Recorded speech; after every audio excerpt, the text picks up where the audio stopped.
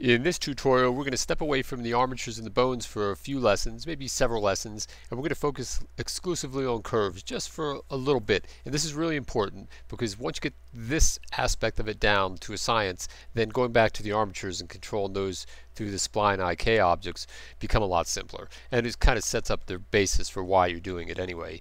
So I have in here a Bezier curve. In fact, I'll just say I'll shift S cursor to the selected so I know where it is and I'm just going to exit out. So you see it from the beginning like I like to do always and I'll just press shift A add a curve Bezier like that. Alright so there's the curve in the scene and if I just go into edit mode with tab there's the endpoints. You only got two points here so I can with this one selected I can press G and move it around or I can grab an endpoint like this and move the change the curvature like this alright or maybe I'll press E with the center point and I'm going to press shift Z. So that I've actually added another point to the curve but I kept it along the XY plane as I was doing it for that time being. But you can extrude it up into Z if you like alright so now I have three control points associated with that curve all right. Well, one of the things for using a curve is we've used it. We've used curves for curve guides for particle systems before. That was pretty powerful. But now what I'm going to do is I'm going to move my cursor over here a little bit, and I'm going to add, say, a circle. I'm going to add a curve circle like this, not a mesh-based circle. I want a curve circle. Okay. I'm going to scale it down a little bit, and it's called Bezier circle.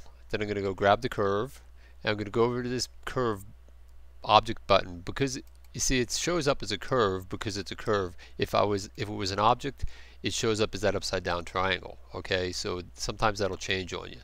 So you see the curve button here. I click that and then I come down here and see where it says bevel object down in here?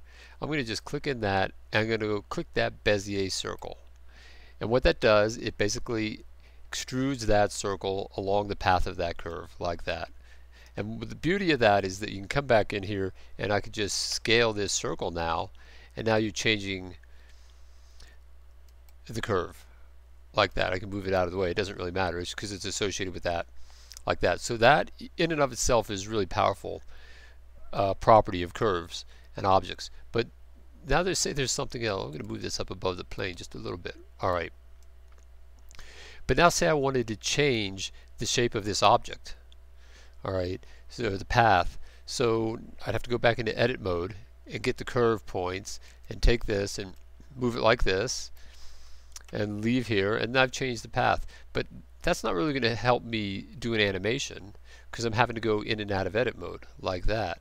So what I'm going to do instead I'm going to use I want a way to be able to control this curve in object mode essentially so when like for instance, I want it so maybe when this ball is roll moving around, the curve is maybe moving around also. Well, I can't do it with this in edit mode, so I have to be able in object mode. So what I'm going to do is I'm going to click on this sphere right here.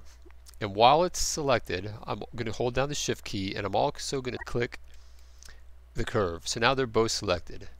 And now when I go into edit mode, there's my points, but you see the sphere still has that little red line around it. So there's some kind of association with the two when you select it like this.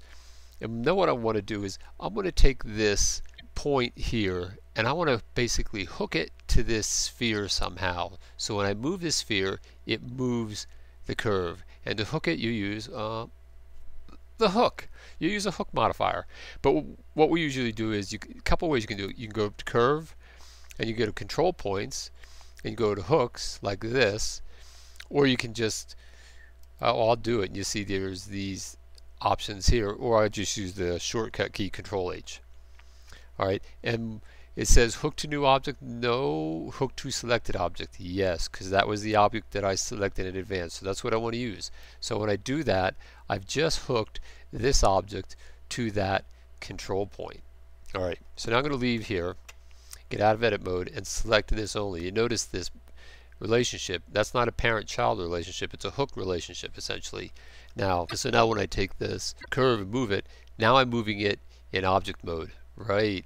Yes right? I'm controlling it that way. I'm not just controlling, if I was parented to it, I'd be moving the whole curve like that. Well, so then we could go do the same thing. I could just grab this and say shift DX, move it over here, maybe move it over here a little bit, and I'm going to move, uh, I'll always press U, make it a separate object, data materials and texture like this. It's selected, I'm going to press shift, right select that, they're both selected tab mode. I'm going to grab this control point instead. Then to press control H again to get a hook, add the hook to the selected object. Alright, notice there was more menu items because I already had a hook now in the scene.